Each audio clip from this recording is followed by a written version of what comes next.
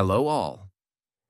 Finally, in September 2024, Adobe has released a beta version of Photoshop that incorporates a native OpenColor I.O. workflow that I will show you in this short tutorial, converting an ACES CG render from V-Ray to an 8-bit sRGB image to put on the web.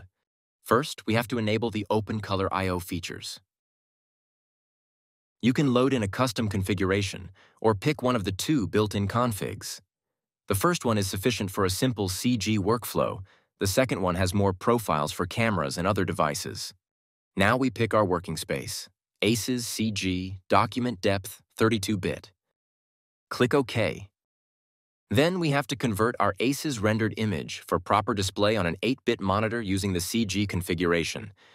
Our working space should be set to ACES CG, bit depth to 32-bit, but the input color space needs to be adjusted to ACES CG as well. Note that auto detection for the input color space does not work yet in the beta I am using. Hit OK, and you can see that the overall appearance of the rendered image has changed. My render is deliberately a little bit overexposed, so I will add a correction to stop it down by 2. Any corrections in composites can be done over the original image in that way. No more color lookup tables on top of the layer stack because the ACES View Transform for standard dynamic range video monitors has already been applied. But where do we find the View Transform settings? Go to Window. Select Open Color I.O. Here we can adjust the working space and the viewing condition. The default View Transform, ACES 1.0, SDR Video, has a tone mapper built in but we can view the image untone mapped and also view the raw, linear distribution of the brightness values. Later, when we want to convert the image to 8-bit, we also can choose the view transform to our liking. Note that there is the adjustment layer for more sophisticated OpenColor I.O. transforms as well.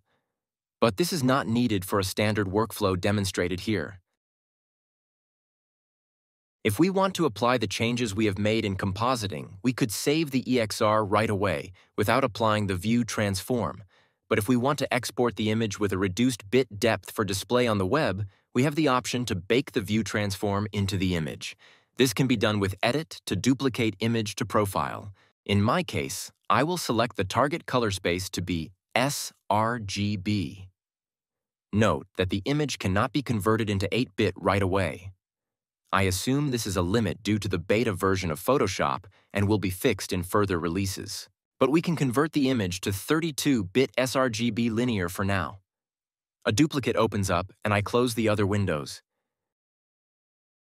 Now I will convert the 32-bit linear image to 8-bit via image mode 8 bits per channel.